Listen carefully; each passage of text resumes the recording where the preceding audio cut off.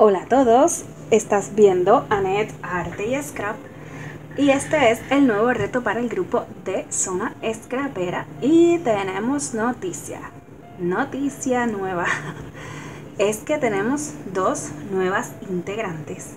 Te voy a dejar en la cajita de información los enlaces de sus eh, canales y de los videos que van a estar saliendo hoy y al, igual que los videos de mis compañeros, antiguos compañeros de Zona Scrapera. Te dejo aquí el nombre. Una de ellas es Craft Ruth y la otra es Raquel Sánchez Craft and Roll. Así que ahí tienes sus canales para que te suscribas y las visites. Bueno, pues hoy vamos a estar realizando ideas con la Fuse, que es esta herramienta que está por aquí, aunque en mi caso yo no la voy a estar usando porque tenemos la opción de usar la Fuse o hacer algún, ah, o hacer algún proyecto con acetatos. Pues en mi caso yo voy a hacer el proyecto con acetato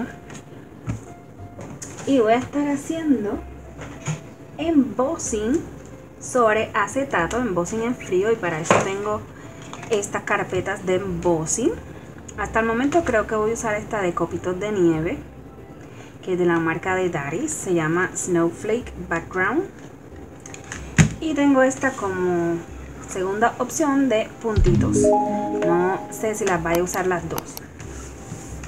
Entonces, eh, pues vamos a buscar por aquí un pedacito de acetato que yo tengo guardados aquí. Esto yo los compré alguna vez en eBay. Te voy a dejar el enlace en la cajita de información. Eh, bueno, este ya sería a través de Amazon. También tengo por aquí mis cartulinas. Tengo esta que así en este color iridescente. No sé si se dice así la palabra, pero ahí está. Es un color plateado. Y tengo estas otras dos cartulinas. Esta mide 6 por 12 pulgadas y esta mide 6 por 6 y media pulgada. Esta de 6 y media le vamos a marcar media pulgadita por el lado que mide 6 y media pulgadita. Y voy a estar haciendo una tarjeta con ventana.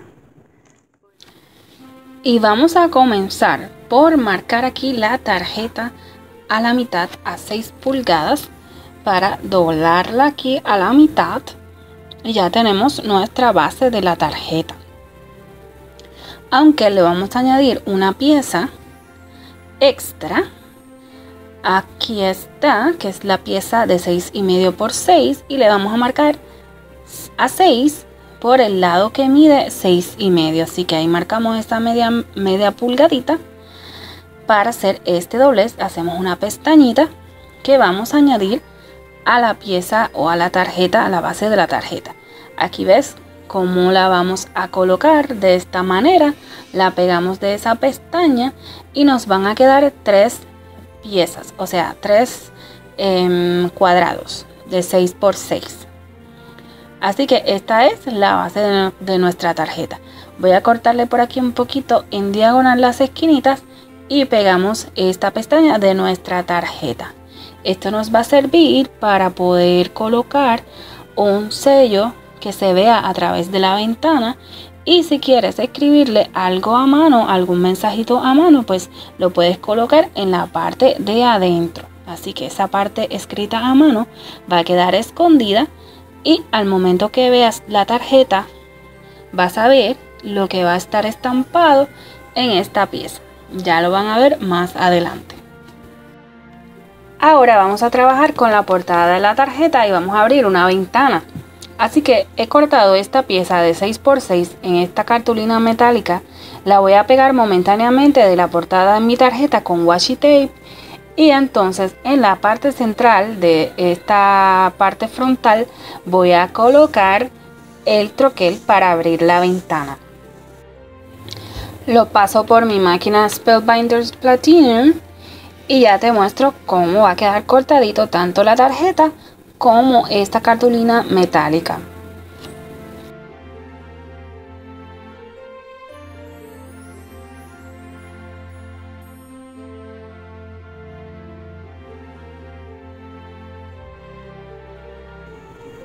Ok, aquí he cortado esta otra pieza de 5 y 3 cuartos por 5 y 3 cuartos. Porque quiero hacer otro marquito que va a ir aquí arriba. Y que me quede entonces ese bordecito plateado. Así que lo voy a pegar por aquí más o menos centralizado. Algo malo que tiene esta, este poster board es que se le marca todo así que de esta manera pues me va a quedar menos se va a ver menos eso pues lo voy a poner así para ver dónde está la ventanita y poder poner ahí el troquel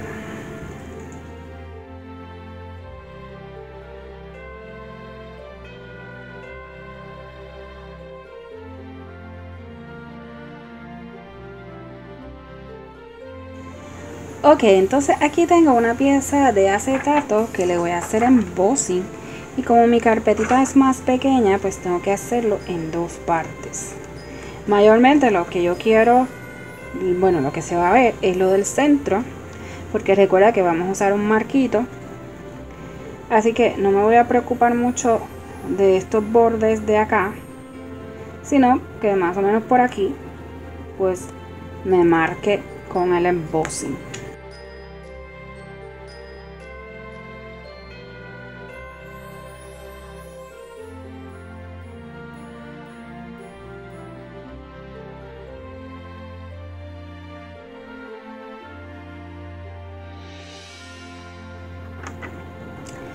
Bueno, aquí lo que hice fue que moví la carpeta hacia el lado, la acomodé ahí y entonces la volví a pasar. Lo que hice fue que entonces le coloqué el plato aquí, dejando la parte que ya estaba embosada afuera, para que no se vuelva a, a bajar, para que no se baje lo que ya embosó. Así que aquí ya tengo la parte que quiero. Como ves por acá no está embosado, pero no es necesario porque va a ir así y no se va a ver. Solamente queremos esta partecita de acá. Ok, aquí tenemos la tarjeta que se abre así. Aquí tengo que hacerle un arreglo porque como ves al sacar el washi tape se levantó ahí la cartulina. Pero entonces aquí para que nos cierre bien y no nos quede así como embolsadito. Pues le voy a cortar un poquito a esta pieza de aquí. Un poquito nada más con un hilito de la cartulina. Así nada más. Y entonces ya cuando lo cerremos queda mucho mejor. Ahora aquí pues vamos a hacer como una estampa o una escena de el nacimiento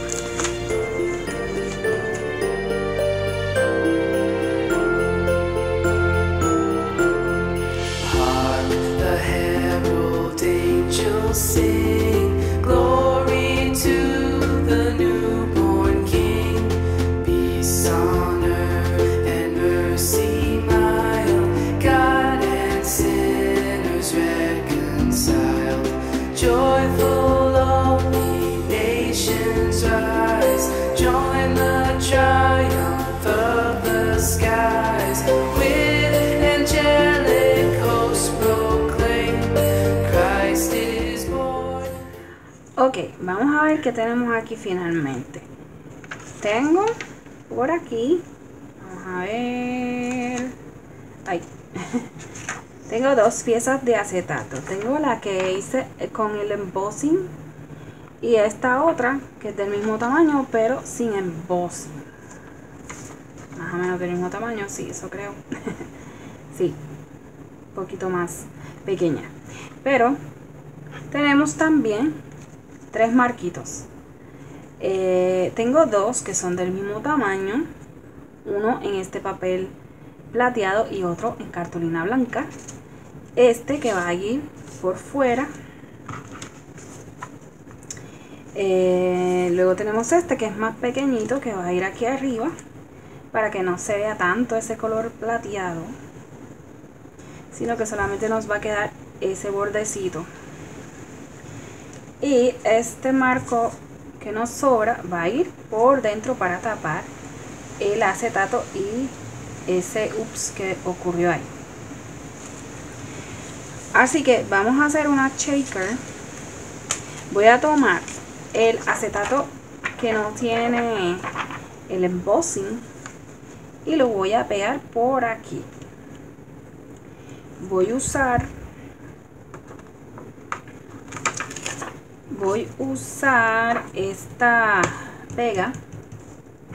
Este acetato yo creo que lo podemos cortar un poquito más te recuerdo que en la cajita de información te voy a dejar los links de los materiales que estoy utilizando para el video de hoy. Son unos links de Amazon, así que si te interesa alguno de estos productos los puedes conseguir por ahí. Si no consigo uno exacto, trato de buscar uno parecido, así que ahí se los coloco. También vas a tener eh, mis redes sociales y los enlaces de los videos de mis compañeros de Zona Scrapera. Recuerda visitarlos. Bueno, ahí ves que he colocado el primer acetato por la parte de adentro de la tarjeta con, este pegamento E6000 que lo conseguí en Walmart con la puntita finita. Bueno, ahora estamos por la parte de afuera por la portada de nuestra tarjeta y ya estoy colocando todas estas cositas. Tengo unos eh, confetis de copos de nieves, confetis de brillitos, estrellitas y montones de cosas. Ahí me ves que estoy cambiando la tapita de la pega porque si le dejo esta punta finita la pega se sigue saliendo así que tengo que cuando termino de usarla sacarle la punta finita colocarle el tapón y dejarla así bueno, aquí ves que cuando coloco el acetato trato de pasar el huesito y esparcir la pega hacia afuera para que no nos quede hacia adentro ningún grumo de la pega. Aquí ya tenemos lista la shaker. Ahora sí, estamos listos para pegar el marquito que va por la parte de afuera, el de cartulina metálica y he colocado cinta de doble cara, así que la levanto por aquí, por las esquinitas un pedacito entonces coloco la pieza que me quede eh, bien alineada con todos los bordes y entonces voy retirando la cinta de doble cara y así me ayudo a que me quede derechito el marquito. Y así mismo voy a pegar el marco más pequeño y también en la parte interior el que va por dentro. Así que esa parte la adelantamos ya la ves por aquí terminado. Miren qué bonito y cómo brillan esos confetis, el marquito, está todo combinado. Me encanta cómo se ven como lucecitas en esa ventana y cómo lucen los copitos que tiene el embossing del acetato. Y para terminar la decoración, pues he troquelado estas flores que son de un troquel de Tim Holtz. Y también tengo ese Felicidades que es de Latina Crafter el otro que le en cartulina blanca y también la misma cartulina que he estado usando eh, de color metálico. También troquelé unas espiguitas del mismo troquel que vienen estas flores y pues así lo combiné con blanco y con este color plateado. Le coloqué unas florecitas más pequeñas en el centro y ahí me estoy guiando con el set de troqueles que lo puedes ver ahí, es de la C6 de la marca de Tim Holtz. Y al final, mm, bueno, fuera del video ya había tomado las fotos finales y todo, le añadí unas perlitas porque pensé que le hacía falta algo, así que al final le añadí unas perlitas en el centro de las flores. Eso no lo vas a ver porque realmente pues lo hice mucho después de haber terminado de grabar el video y de haber tomado las fotos. Así que ahí vamos dando los últimos toques. También usé un poquito de Distress Oxide en ese color azul. Es un tono bien clarito para las flores. Así que le añadí ese toquecito de azul. Y entonces vamos pegando las florecitas, las hojas y terminamos de decorar nuestra tarjeta. Es muy sencilla y fácil de hacer y me encanta cómo queda el embossing con la carpeta de embossing en el acetato. Realmente creo que nunca lo había tratado y me gustó mucho el efecto cómo queda. Estaba haciendo una prueba para intentar pintarlo, pero se me hacía un poco difícil porque se me pintaba todo. y pues quería pintar solamente los copitos de nieve, pero como que no me resultó.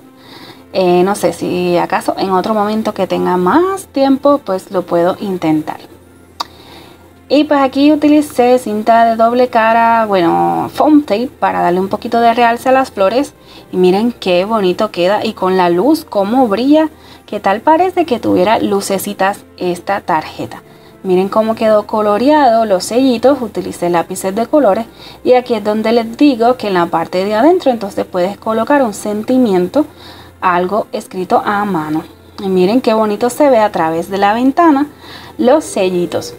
Así que hasta aquí les dejo el tutorial de hoy. Espero que les haya gustado. Recuerden visitar a mis compañeros de Zona Scrapera y a las nuevas integrantes. Les doy la bienvenida. Y gracias a todos por acompañarme. Recuerda regalarme tu like, suscribirte al canal, activa la campanita y marca todo para que YouTube te avise cada vez que salga un video nuevo en el canal. Así que eso ha sido todo. Sigan divirtiéndose y creando algo hermoso para esta Navidad. Nos vemos. Bye.